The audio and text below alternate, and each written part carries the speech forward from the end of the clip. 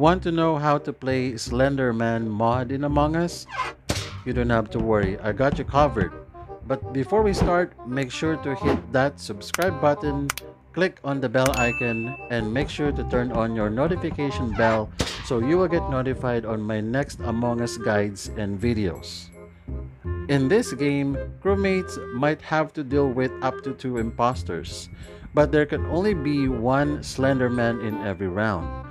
You'll find out if you are the Slenderman if your character looked like this.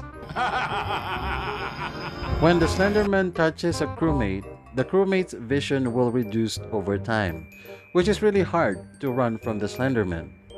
The Slenderman will win rounds by killing all the crewmates.